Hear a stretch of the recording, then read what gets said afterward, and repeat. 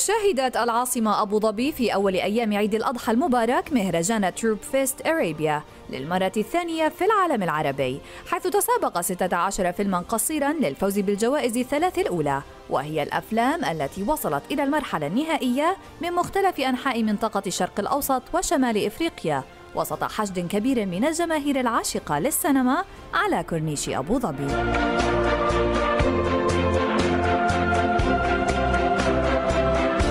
السجادة الحمراء كانت الطريق الأول لنجوم السينما ولجنة التحكيم التي تترأسها الفنانة التونسية هند صبري المدير المشارك للمهرجان. لتبدأ بعدها الفعاليات وسط حشد جماهيري كبير اكتظت به جنبات المسرح حيث عرض على امتداد ثلاث ساعات كاملة 16 فيلما عربيا قصيرا لمواهب عربية واعدة في عالم السينما. وكل الأفلام آه، من مصر ومن سوريا ومن العراق ومن فلسطين ومن تونس ومن المغرب آه، تترجم فعلا حالة عربية وحاله الشباب العرب. فكان بالنسبة لي آه، توثيق للجيل الجديد من هواة